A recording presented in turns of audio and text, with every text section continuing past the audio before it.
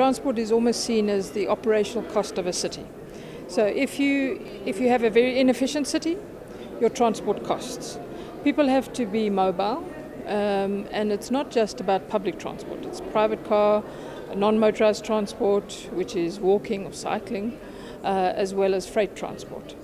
Uh, so if your city doesn't function correctly, essentially your economy doesn't function, and you, there's, there's very difficult for movement.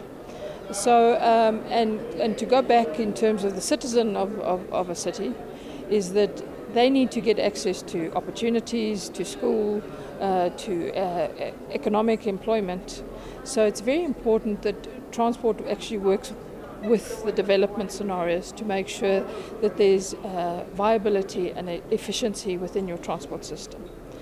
Um, so to follow on from that, public transport, you need to look at what the actual requirement is. So if there is a need, um, if you need to identify what the user's access priorities are. So in Cape Town, for example, we've developed the Transport Development Index, which tries to identify what the baseline is for transport. What are the costs? Are they direct costs in terms of the actual cost of transport, or are they indirect costs?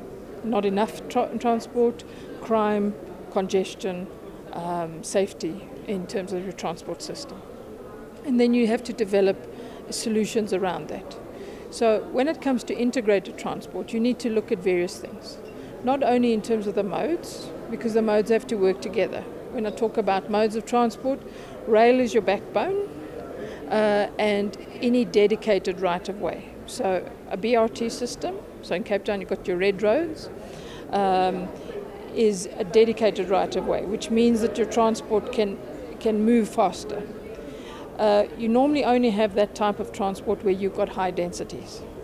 Uh, so you need to balance that with the efficiencies. So it's pointless having uh, a rail system where you don't have high densities because you can't transport as many people as possible. Then you've got your, your feeder systems into that, uh, and then you've got your on demand services like your minibus taxis. Uh, so it all needs to be integrated so that the, the, the, commuter can have a seamless transport. Now, why would you want a seamless transport? First of all, you would need to make sure that you have one ticket. What's happening in South Africa in particular is that commuters have to transfer from one uh, service provider to another because they don't have a different ticket, which means that every time they get onto another service provider, they've got to have a different ticket.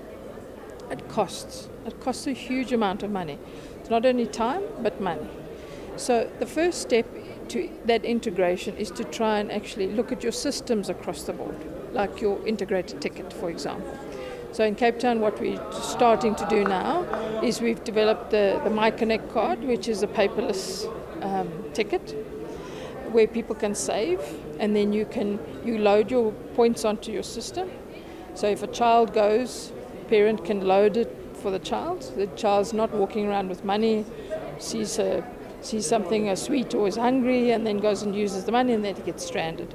So it teaches people how to actually save for, for transport, get efficiencies in relation to that. But now what we have to do is that we might have it on MyCiti, we now need to get it onto rail and we need to get it onto other public transport so that people can then use one ticket. Uh, ultimately, you could also use the ticket for parking if you take a car, or you could use it for an event. So, those are the types of things that we need to start developing uh, in South Africa and in Africa to be able to ensure that the commuter, commuter benefits. We're not just doing it for the fun of it because another country has a BRT system or an integrated system. We're doing it so that we can actually benefit the commuter and we can drop their access costs, mm-hmm. direct or indirect costs. We don't have the proper infrastructure in many cases. Sometimes we, we look at a nice technological solution and we want to go and implement it.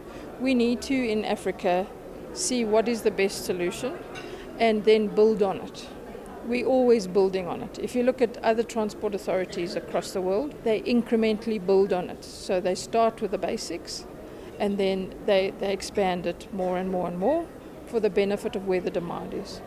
The demand is so big in Africa that you've got to start somewhere. So your plan is to know where you want to go.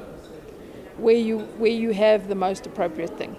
Okay, how you get there, you need to basically find various solutions across the board, and then start implementing that. Some might be infrastructure, some might be operational, some are behavioural changes, and as you go uh, through the process, you go back and you check: has it worked? Has it not worked? Has it been successful? That's what happens in the transport world. If you don't go back and check, then some things might become redundant, some things are overburdened because they are more successful than your services can provide. In terms of the word sustainability, the first thing is that we must always plan the life cycle cost of transport. So it's not just about the infrastructure. You've got to maintain the infrastructure and you've got to be able to operate it. So you have to build it into a business model and you have to look at your entire life cycle cost. And sometimes you have to go back and say, okay, the model didn't work, or the model was very successful in this area, so how do we increase and how do we make it one step better? So you always know where you want to go, but you need to be realistic in terms of your solutions. And don't ever provide impoverished solutions for poor people. Go and find what the best solution is and then work on providing the investment in terms of achieving that.